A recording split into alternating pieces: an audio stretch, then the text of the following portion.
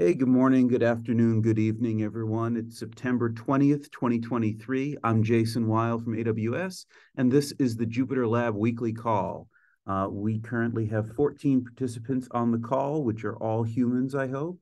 And uh, we have a few items on the agenda here. Um, I'll paste in a link to the agenda. Looks like Eric G is first up. Yep. So I've had uh, a lot of good and positive feedback on the proposed new uh, documentation working group that spans uh, the entire Jupyter org.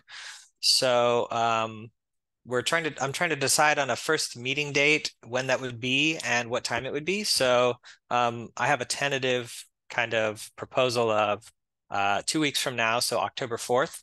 Um, so it would be weekly on Wednesdays and it would be an hour before this meeting. So uh, 11 a.m. Eastern time. Uh, so uh, if anyone has thoughts about that, uh, jump in and uh, uh, let me know. Um, but um, yeah, the the new working group of puzzles going well. Um, we have some people already commenting and expressing interest. but if you're interested, we definitely need you. If you're interested in um, having better Jupyter documentation, or if you're interested in writing it, or if you're interested in um, doing a lot of other related tasks that are not writing docs, like some autom uh, some automations uh, and some other some other items. You can read more on the proposal in the uh, meeting notes there.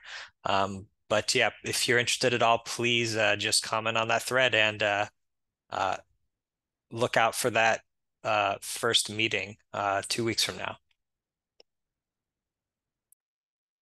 All right. Thanks so much, Eric, for setting this up. Um, it, this is going to be Wednesday. He said 11 a.m. Eastern, 8 Pacific. Is it going to be a half hour long? Half hour, yeah. Okay, cool. That's what I'm proposing anyway. If anybody has any other thoughts, I, we can change it. And is it on the shared? Is, is it on the shared calendar yet? It is not. I just wanted to to gather some feedback today, but I will put it on the shared calendar. Uh, oh, okay. And how do I do that actually? do you have access on Google Calendar to do that? Probably not. Okay. Well, I'll tell you what. Why don't you send me email with like the details of what you want me to add? Because I know I have access to it.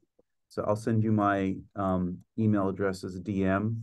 So why don't you just shoot me email with like what you want me to add, half hour okay. this time, recurring. Yeah, I'll do that. Zoom okay. channel, all the good stuff.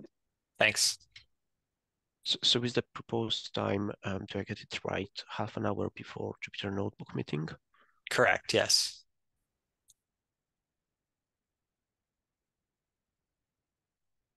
All right. Mike's got the thumbs up going. Thank you, Mike. Cool. Any other questions, discussions about the writing working group?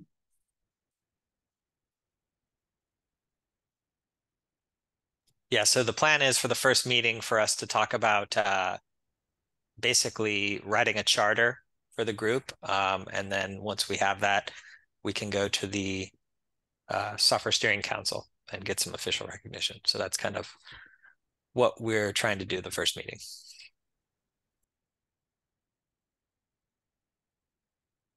All right. Thanks, everyone. Um, so I'm next up on the agenda. Um, I have an item on behalf of my teammate Piyush, who unfortunately could not be on this call today. Um, there is an open, there are a couple of open pull requests on CondaForge to add packages that my team has built. Um, one, Andrew mentioned towards the end of the notebook call concerns Jupyter Scheduler. That is green. We're, we're just waiting for someone to approve it to get it merged in. Um, the other is for Jupyter AI and Jupyter AI Magics, which are two packages that we built. Um, we are getting errors on the pipeline and also errors when building this locally because one of our dependencies, FAISS CPU, is not getting pulled in, but a similar package, FAISS, is. Um, but this is causing the build to fail because the needed packages are not showing up on pip check. So this is blocking us from some projects that affect some internal stakeholders here. I'm wondering, are there any folks on this call who could help out with uh, debugging or identifying where we can improve this CondaForge recipe?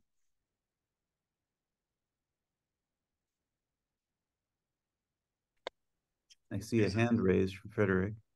Um, I'm not sure to follow exactly uh, the dependency trouble uh, because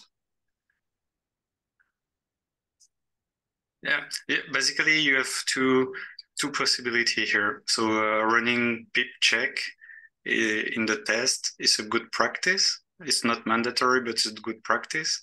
And if it's failing, uh, normally what you should do is you should open a PR on the uh, recipe of the your dependency that's actually not checking pip. So to make that that recipe better. Um, if not, go ahead if not the only way you can you can work around is by removing the pip check it's not such a great idea but i don't see another solution yeah i, I mean i'm hoping that we don't have to come to that especially because conda is so uh, enthusiastic about recommending that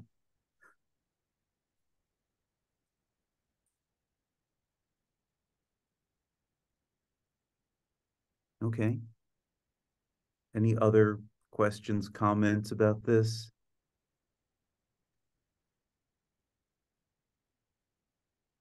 Um, so I wanted to use this as an opportunity maybe to ask Fred. So I earlier asked Nick, and uh, maybe you have any advice on getting our PRs, uh, you know, reviewed and approved, especially my scheduler because it's green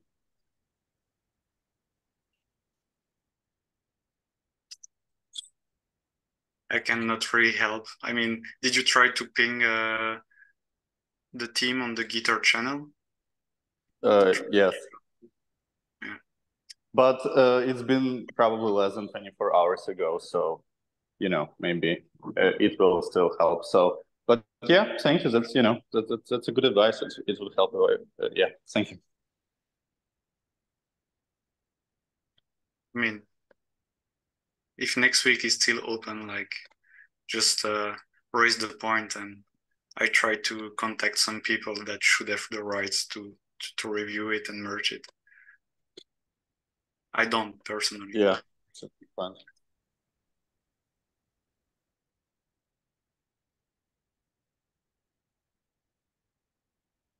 Okay. Sorry, I was just updating the notes there. Um, and thanks, Mike, for offering to ping folks um, who might be able to help at Quansight. Um, okay. Well, thank you all for indulging us on that. Um, Frederick is next up with a member rights proposal.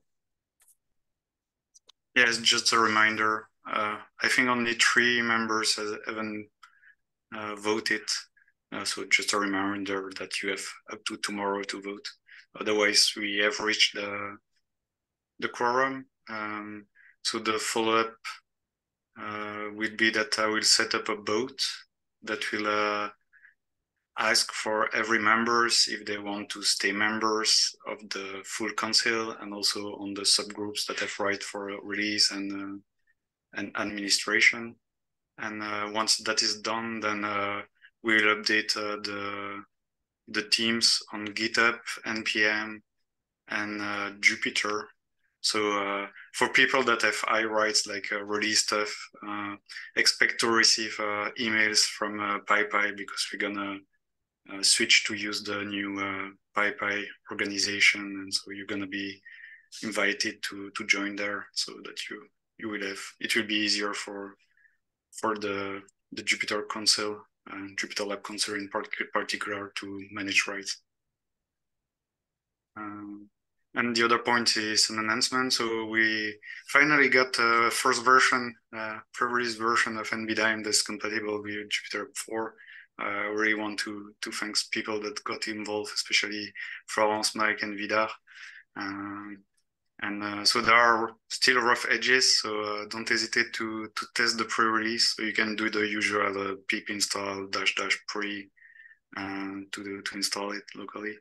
Um, and don't hesitate yet to to look uh, at the at the code if you have time and enough knowledge or uh, fix issue and report report bugs that you are seeing. Yeah. And that's all for me.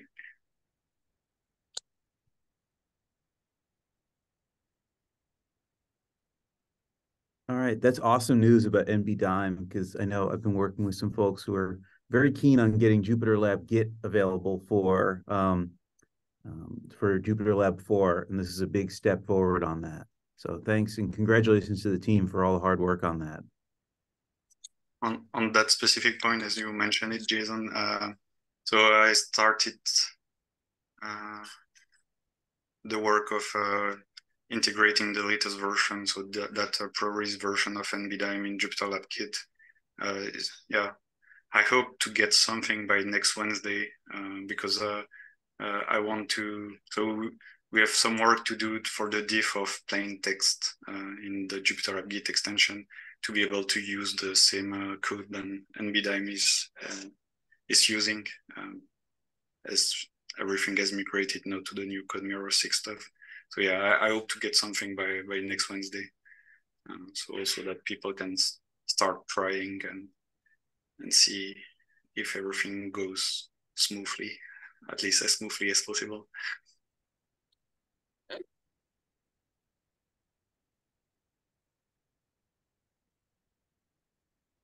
All right. Um, well, if there's no other questions or comments on that one, um, Mike is next up with a couple a couple of topics. Mike, you want to go ahead?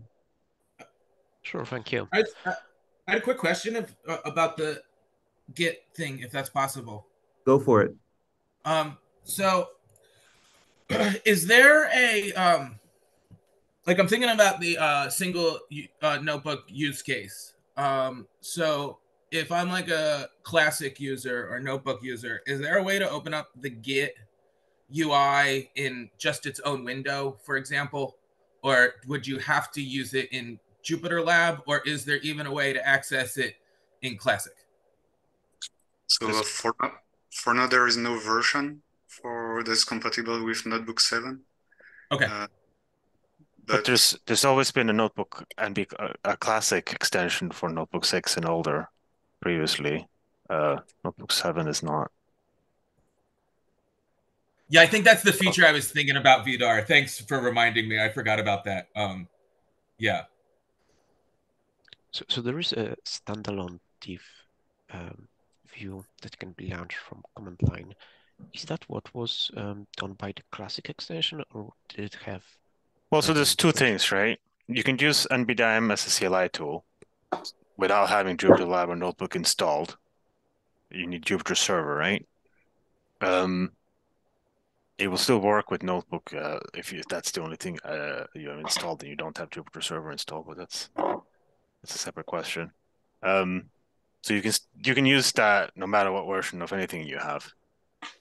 And then it is the question of uh, integrations with Notebook and and Lab, where you um, basically like the default buttons that the NB extension has is if you use um, checkpoints, you can diff with the checkpoint. Or if you have the git extension, it will just diff your current um, working state versus the last commit, right? There's a button on the toolbar that does that. Yeah. And then so, so. you have the git git extension that uh, does more fancy stuff on top of that. So it sounds that it should be reasonably easy to integrate that.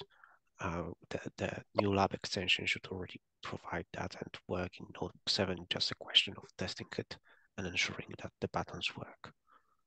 Yeah, as long as the HTML stuff works, it, it opens that in um, like a new tab, right? So it's um, the HTML should work.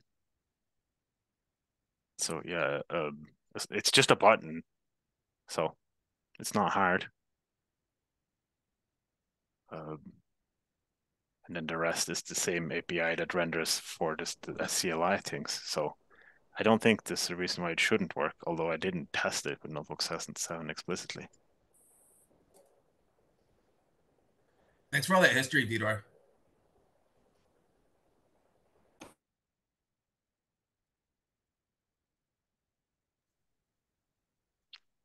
Okay. Um, so going on, um, Jupyter Lab LSP uh, 5.0 release candidate is out. This um, fixes compared to the previous pre-release uh, completion, and that should work with Jupyter Lab 406 that was released last week and Notebook 704 just released today. Um, yeah, please test it out if if you are interested in the features that LSP provides.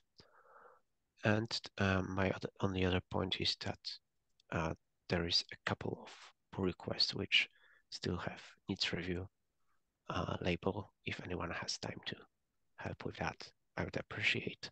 And also, if you would like to have your pull request reviewed, um, adding this label helps to prioritize what is ready, especially if it went over uh, the first page of pull request, because otherwise it gets easily lost.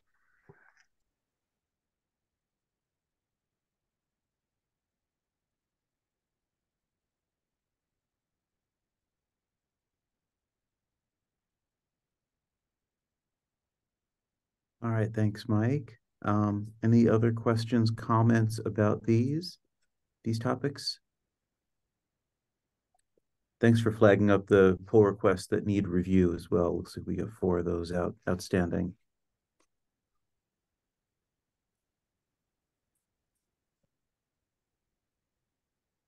All right, we're about 23 minutes past the hour. Um, are there any other topics that people would like to discuss on the record?